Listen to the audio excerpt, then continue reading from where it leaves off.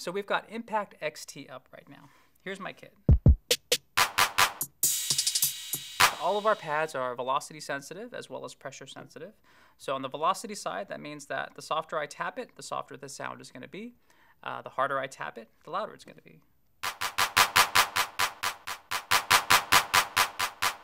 Now, if you're the type of person that just likes the sound to be played full volume, you can hit the full level button right over here on the left-hand side. Turn that on.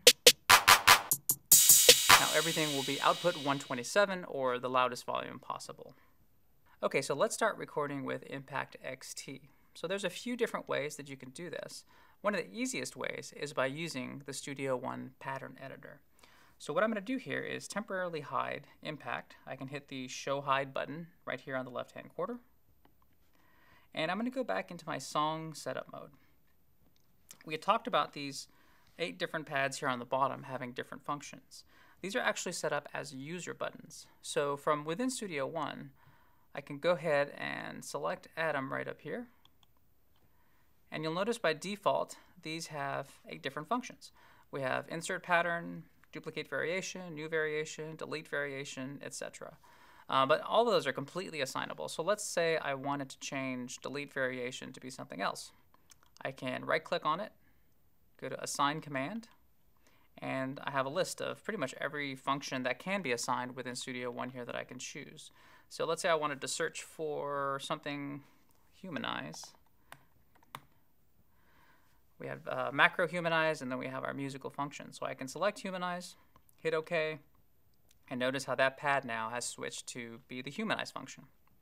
If I left click on it, I can also go through and change the color as well. So the only reason I brought you here is so that we can mess with the insert pattern button. So I can close this because we don't really need it up. I was just giving you an example of what they are.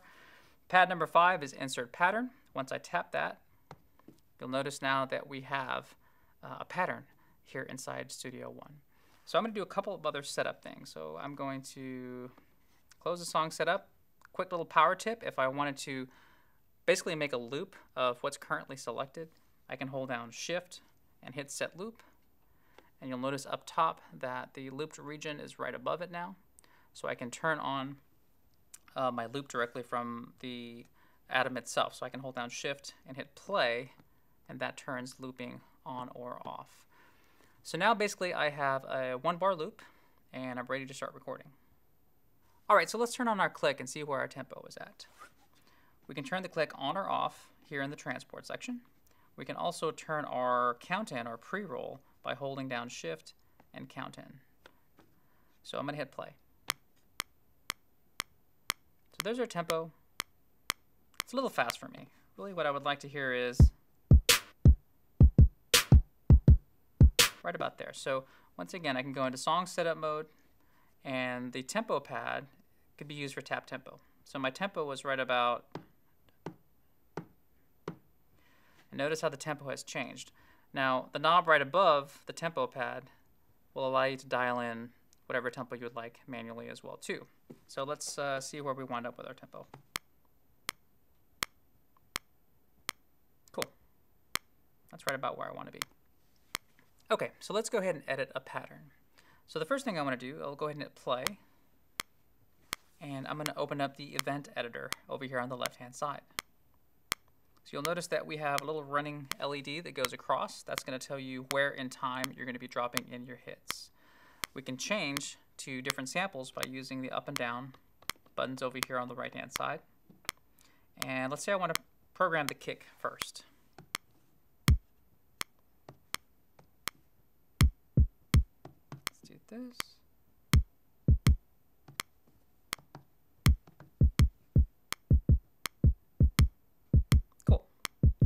Let's say I want to put a snare in there. So once again, I can use my up or down buttons to select snare, and I'm going to put a snare on 2 and 4. I can also quickly select a sample by coming out of editor mode and just tapping a sample. So you see it's now jumped over to dry clap. Now it's switched over to hi-hat. But I want to pop in the dry clap in here. So I'm going to go back into editor mode now, and I'm going to put this dry clap on 2 and 4.